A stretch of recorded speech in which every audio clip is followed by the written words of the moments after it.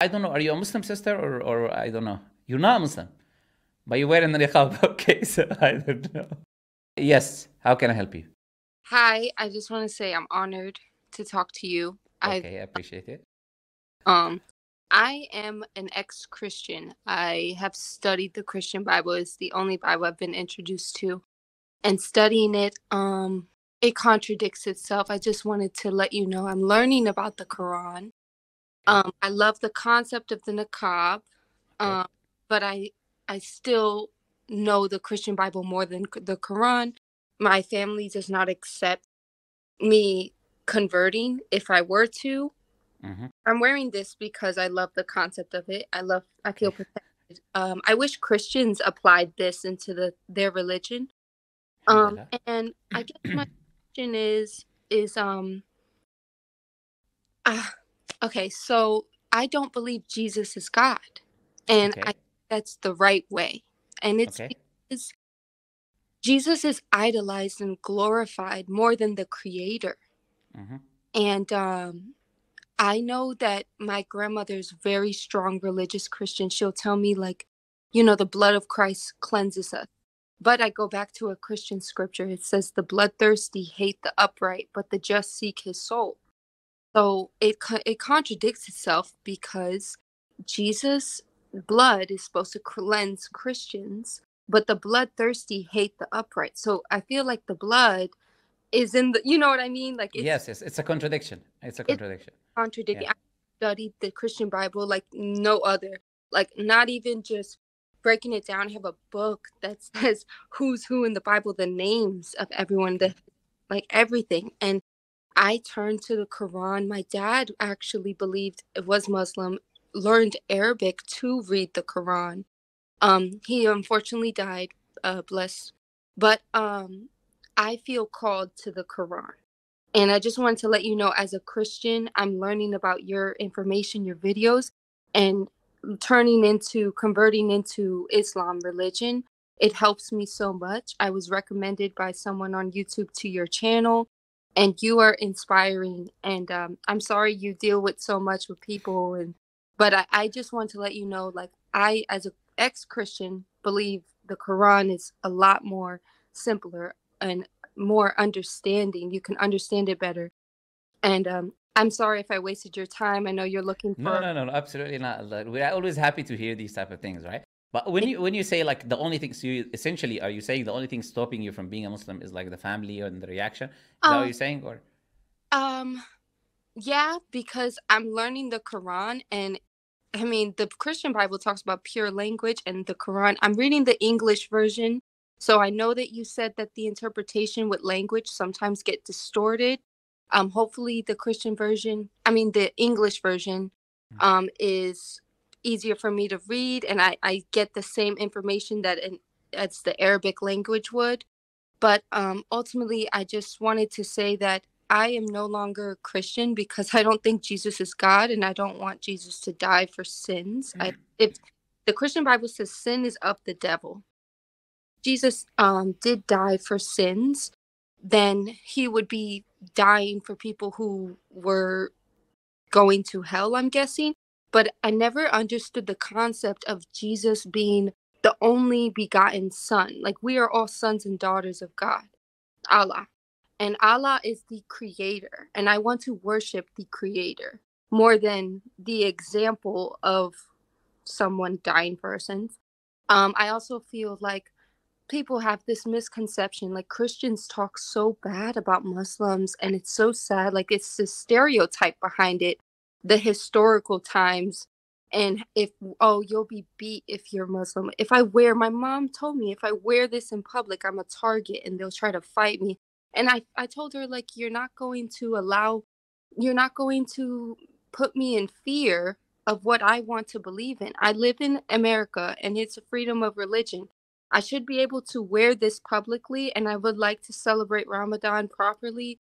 And I'm I really it's not that Christianity was horrible to me. It's just I've read so much of it that it contradicted itself so much to the point where I could not read it. It was like one scripture was saying the opposite of another scripture. and that's supposed to be blasphemy in the Christianity. And I'm, I'm telling you, I know the context. Like I know the Christian Bible more than the church. The Christian Bible says the church is in the house.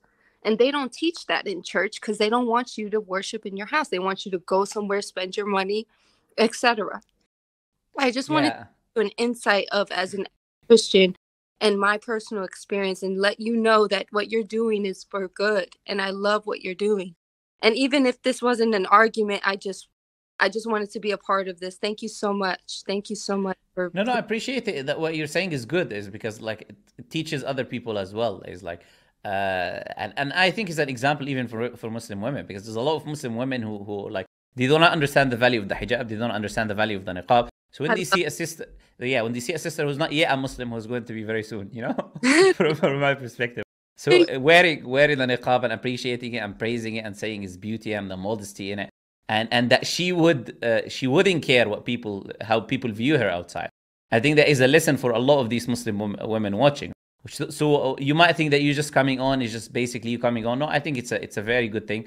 It's a, it can be a lesson for a lot of people. But when it comes to the idea of like the sons and, and daughters of God, under the Christian view, yes, does not make any sense to say Jesus is special because he's the son of God, while it literally says that everyone else is the son of God in the same book. And it says that David is the begotten son of God as well, which is another contradiction. So if you read Psalms 2 7, it says that David is the begotten son of God. And then the other verse in John 3 16 says that he's the begotten son as well, the only begotten son. So how can you be the only begotten son when there is another begotten son before you you're even existing in this world, right? So these are all contradictions. Uh, God uh, doesn't die uh, in First Timothy six sixteen, and then you see they say Jesus is God and He died, right? That's another contradiction that you see uh, God is all knowing, but Jesus is God, but he doesn't know in, in Mark 13 32. So all of these things, yes, all of these are contradictions. Muslims don't believe though that God has a son. They don't, we don't believe that Allah has a son or daughter or any of that. We believe our relationship with Allah, He created us, we're here, and He sent us guidance through the prophets and the messengers, and we focus on Him, like you said.